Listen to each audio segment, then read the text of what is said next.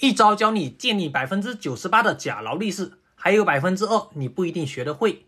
这只劳力士游艇啊是相当的热门，假表呢也是非常的多。今天呢一招教你学会分辨假劳力士。首先啊拿过手表顺时针调时，看看日历是不是顺跳，感觉是不是特别简单？但是我告诉你，现在国产机芯也都是复刻劳力士三幺三五机芯，也是顺跳的，没什么用。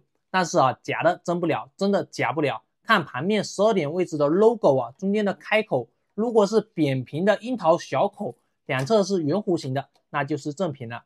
像这样左右两侧比较尖锐，中间开口比较大的，铁定呢是假货。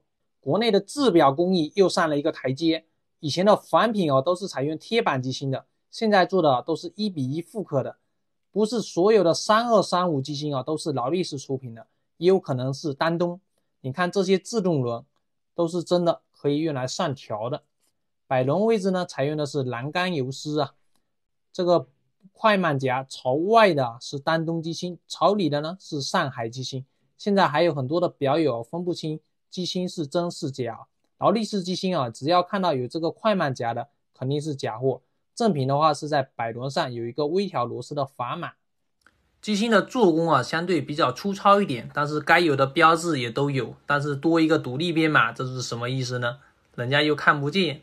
令我没想到的是，表盘居然也采用跟正品一样的结构，无盘角结构，直接把它卡在机芯上。